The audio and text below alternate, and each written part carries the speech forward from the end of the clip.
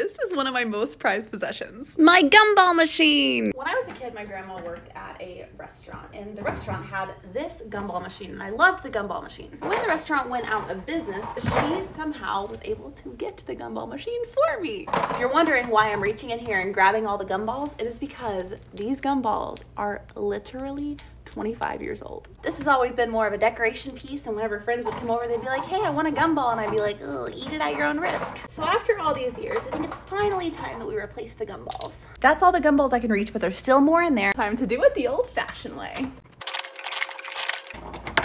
They're still coming. There's just a couple more. I think it's finally empty. New gumballs.